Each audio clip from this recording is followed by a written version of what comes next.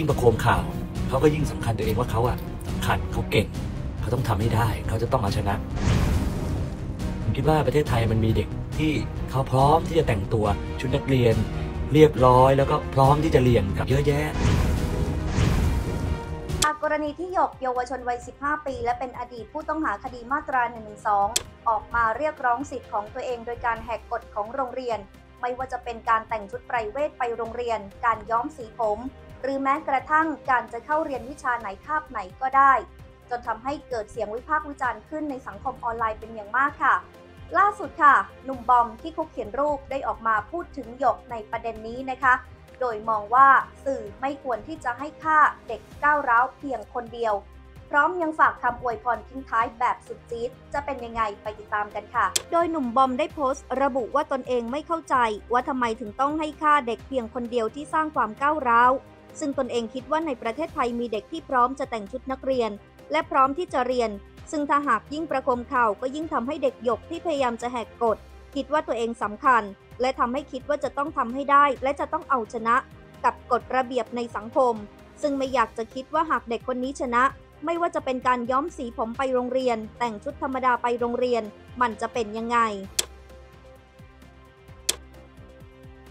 คือไม่เข้าใจอะตอนเนี้ย ทำไมไปให้ความสนใจกับเด็กก้าวร้าวเพียงแค่คนเดียวนะผมคิดว่าประเทศไทยมันมีเด็กที่เขาพร้อมที่จะแต่งตัวชุดนักเรียน เรียบร้อย แล้วก็พร้อมที่จะเรียนกับโรงเรียนที่เขาต้องการเรียนอีกเยอะแยะ ยิ่งประโคมข่าวเขาก็ยิ่งสำคัญตัวเองว่าเขาอะสำคัญเขาเก่งเขาต้องทำให้ได้ เขาจะต้องเอาชนะกับสิ่งที่มันเป็นเขาเรียกว่ากฎระเบียบของสังคมให้ได้นะแต่ผมก็อยากจะคิดเลยว่า ถ้า เด็กคนเนี้ยชนะในการที่ย้อมสีผมไปโรงเรียน แต่งชุดธรรมดาไปโรงเรียน มันจะเป็นยังไง ซึ่งหนุ่มบอมมองว่าหากยิ่งให้ค่าด้วยการไปประโคมข่าว ก็อาจจะเป็นการสร้างแพทเทิร์นให้กับเด็กคนอื่น ๆ ในทางที่ผิด ซึ่งอยากให้สื่อไปนำเสนอข่าวให้กับเด็กที่พร้อมจะเรียน เด็กที่สอบติด หรือเด็กที่อยากเรียนแต่ฐานะยากจนจะดีกว่า อย่าไปใส่ใจเด็กที่ก้าวร้าวแค่คนเดียวเลย ซึ่งหากคิดกันเล่นๆว่าทำไมพ่อแม่ของหยกถึงไม่ออกมาปกป้องลูกของตัวเอง แต่พอตนเองได้ดูข่าวล่าสุดที่นักข่าวไปเจอกับแม่ของหยกก็โดนไล่ออกมาทำให้ตนเองก็ไม่เข้าใจและมองว่าเด็กคนนี้ต้องมีอะไรสักอย่าง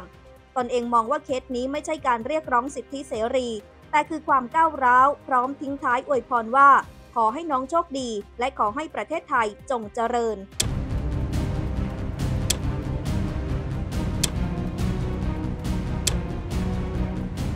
ว่า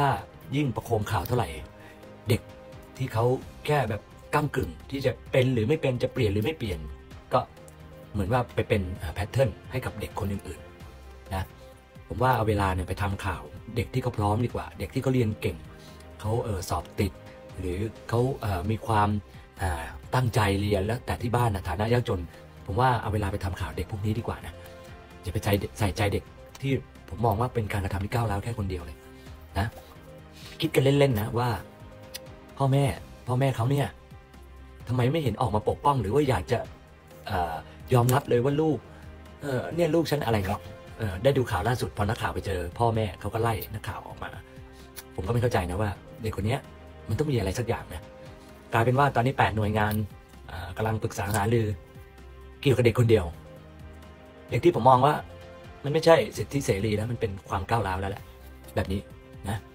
ก็ขอให้น้องโชคดี แล้วก็ขอให้ประเทศไทยจงเจริญ ไม่พลาดข่าวสำคัญระดับท็อปได้ง่าย ๆ ทุกที่ทุกเวลากับแอปพลิเคชัน Top News รับการแจ้งเตือนข่าวสารใหม่แชทคุยหน้าไลฟ์ได้ ดาวน์โหลดได้แล้ววันนี้ทั้ง App Store และ Play Store